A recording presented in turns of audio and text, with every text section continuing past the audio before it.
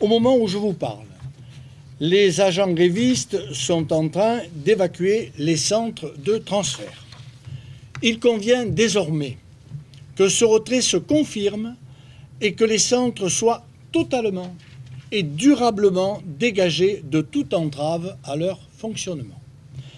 Si ces conditions sont réunies, une délégation de huit personnes sera reçue demain matin je laisse le soin au syndicat Force ouvrière qui est à l'origine de ce mouvement et aux agents grévistes de s'entendre sur la composition de cette délégation pour refléter l'ensemble des catégories professionnelles.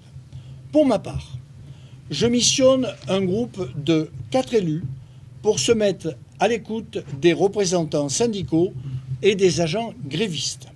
Ce groupe sera piloté par Lionel Royer-Perrault, vice-président de la communauté urbaine, et associera Madame Monique Cordier, Monsieur le sénateur Bruno Gilles et Monsieur le maire d'arrondissement Yves Moren. Ils sont accompagnés et auront le soutien de mon directeur adjoint de cabinet, le directeur général des services, du directeur général adjoint et du directeur de la propreté. Le groupe le groupe d'élus pardon, que j'ai missionné me fera part de son analyse et de ses propositions dans les meilleurs délais. Je vous remercie.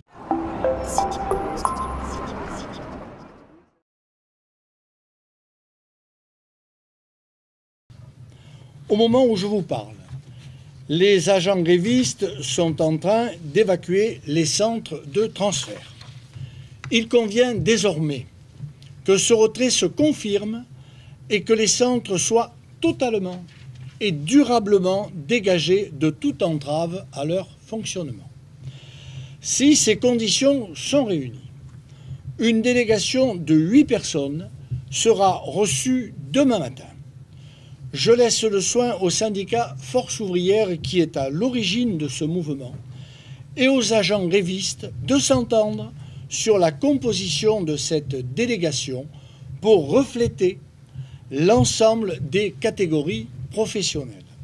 Pour ma part, je missionne un groupe de quatre élus pour se mettre à l'écoute des représentants syndicaux et des agents grévistes.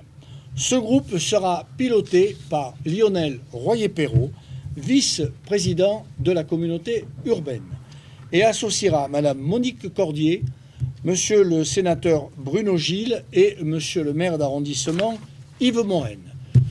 Ils sont accompagnés et auront le soutien